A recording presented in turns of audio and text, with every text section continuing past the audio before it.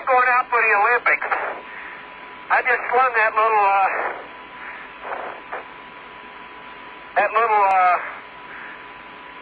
carry bar on the ALSEP package, the crooked one, about 200 meters it looked like. There goes the other one.